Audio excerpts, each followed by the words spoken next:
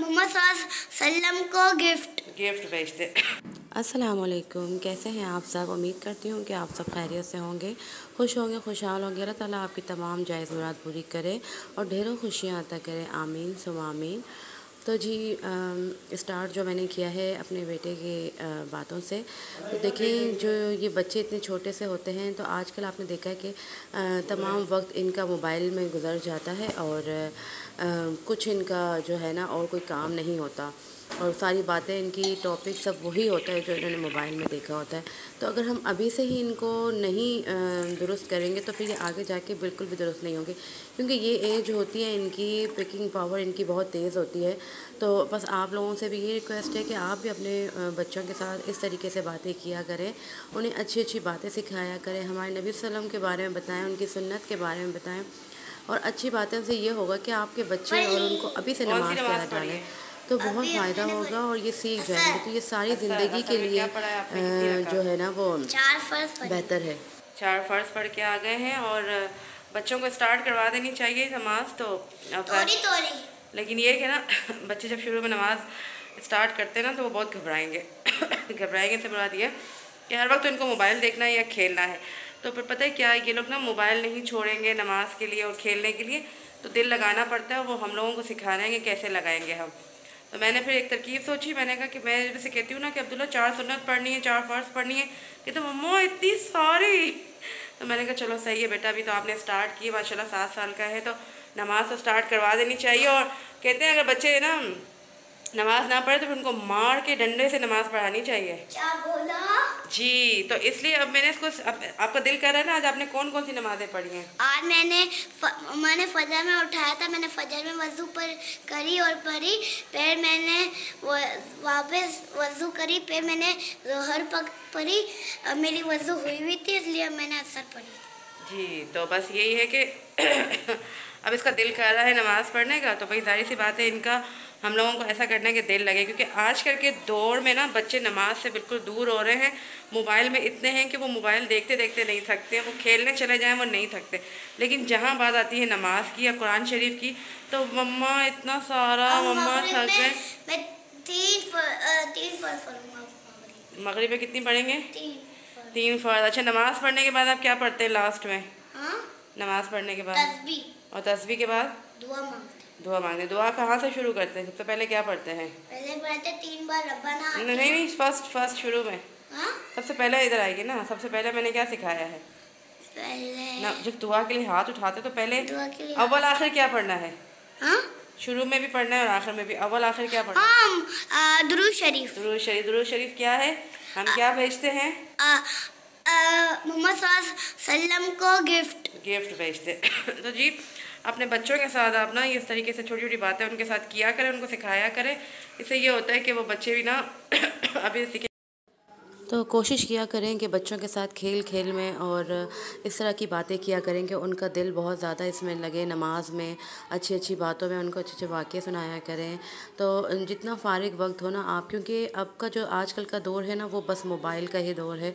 तो बच्चे तो बच्चे माँ बाप भी ज़्यादातर मोबाइल में वक्त गुजार देते हैं तो वो बच्चों की तरबियत अच्छे से नहीं हो रही।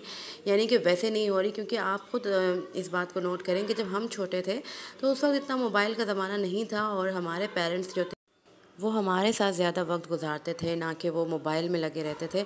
और उस वक्त टीवी में भी इतने प्रोग्राम्स नहीं आते थे, बस ड्रामा एक दफ़ा आया एक ड्रामा आता था, फिर वो न्यूज़ देखने के बाद फिर वो हमसे, यानी कि उससे पहले भी वो हमें घर में पढ़ाया भी करते थे हमारे वालदे ने तो ट्यूशन वगैरह में भी हमें कहीं नहीं भेजा, मदरसा भी उन्होंने ख़ुद पढ़ाया, कुरान शरीफ उन्होंने ख़ुद पढ़ाया हमें।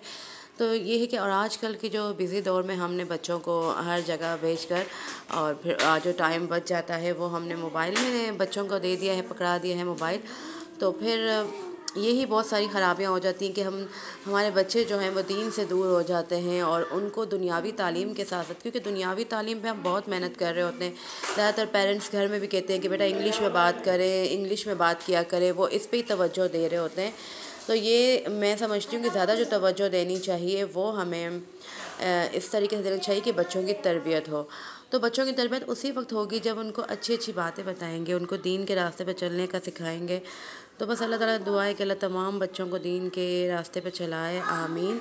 और माँ बाप का फ़र्ज़ है कि भाई, अगर हम उनकी तरबियत नहीं करेंगे, हम उनको अच्छी बातें नहीं सिखाएँगे तो कोई दूसरा नहीं सिखाएगा, जबकि हम जो अभी हम माँ बाप के अलावा जो काम कर रहा है वो है मोबाइल और वो बच्चों को वही कुछ सिखा रहा है जो उन बच्चों के जहन में नहीं आना चाहिए। तो ज़्यादातर बच्चे जहन में वही क्योंकि आपने देखा होगा कि वो हर वक्त जो मोबाइल में देखते हैं फिर वैसी लैंग्वेज भी यूज़ करते हैं वो हरकतें भी करते तो हैं। आ गए समोसे रोल और नमक पारे। रोल तो है जो मेरे हस्बैंड शौक से खाते हैं मुझे तो समोसे पसंद है। और ये अब्दुल्ला की ब्रेड है जो एक सैंडविच बन चुका है। दूसरा सैंडविच और ये जी चाय बन चुकी है। जी ये शाम की हमारी रूटीन है इवनिंग रूटीन तो अब्दुल्ला अब्दुल्ला आप सैंडविच क्यों शौक से खाते हैं? और जी बच्चे जो है वो हमेशा वही सीखते हैं जो वो अपने माँ बाप को देखते हैं। तो बच्चों को शौक़ भी मोबाइल का उसी सूरत में पड़ जाता है कि वो माँ बाप को यूज़ करते हुए देखते हैं। तो अगर आप अच्छे काम करेंगे नमाज़ पढ़ेंगे और बच्चों से अच्छी बातें करेंगे तो वो भी वही सीखेंगे इन ये देखिए जी टेस्टी टेस्टी यमी और ये अब्दुल्ला कह रहे हैं कि मैं ख़ुद ममा छीलूँगा। तो प्रैक्टिस कर रहे हैं छील लेंगे तो अच्छी बात है ना? छीलना चाहिए ना?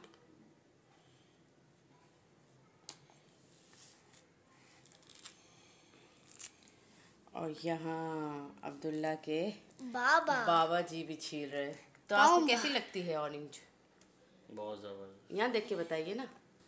तो मैं उम्मीद करती हूँ कि आपको मेरा ये व्लॉग पसंद आया होगा और प्लीज़ मुझे कमेंट करके बताइएगा कि आपको मेरी बातें कहाँ तक ठीक लगी और कैसी लगी। तो बस मैं यही चाहूँगी कि मुझे एक अच्छा सा कमेंट आप लाजमी करके दिखाएँ मेरी वीडियो अगर अच्छी लग रही है तो लाइक करें शेयर करें। जी फिनिश कर लिया है हमने ये। अब हम धोएँगे। कर दी है जी। ये ब्रश करके सोते हैं और सब बच्चों को ब्रश करके सोना चाहिए बल्कि बड़ों को सबको। तो जी बस सब कुछ हो गया फिनिश अब ये ब्रश करेंगे हम सब और फिर इसके बाद सो जाएँगे। नाइट ड्रेस भी अपना चेंज कर दिया है। चलो अब्दुल्ला अब्दुल्ला ये भी हटा दो रुमाल। और ये तमाशा शुरू हो चुका है। चलो। क्रीम लगा लो बाबा की आवाज़ आ रही। लोशन लगाओ जल्दी से आपने लोशन क्यों नहीं लगाया है? भूल गया। कौन सा लोशन यूँ लगाते हो? लाओ दिखाओ। नीविया नीविया बेबी जल्दी से लगाओ चलो लोशन और थोड़ा सा मुझे भी दे देना। मेरा नीविया लेकर आओ। आपको रात हो चुकी है तो अब लाजमी ठंड के दिनों में आपने लोशन वगैरह लगाना चाहिए और मॉइस्चराइजिंग करनी चाहिए, क्योंकि इससे आपकी स्किन जो है ना वो ठीक रहेगी, स्किन ख़राब नहीं होती है, सब कुछ लाजमी। स्किन का भी केयर कीजिए और तो चलें जी, अपना बहुत ख्याल रखिएगा, मैं ब्लॉग का एंड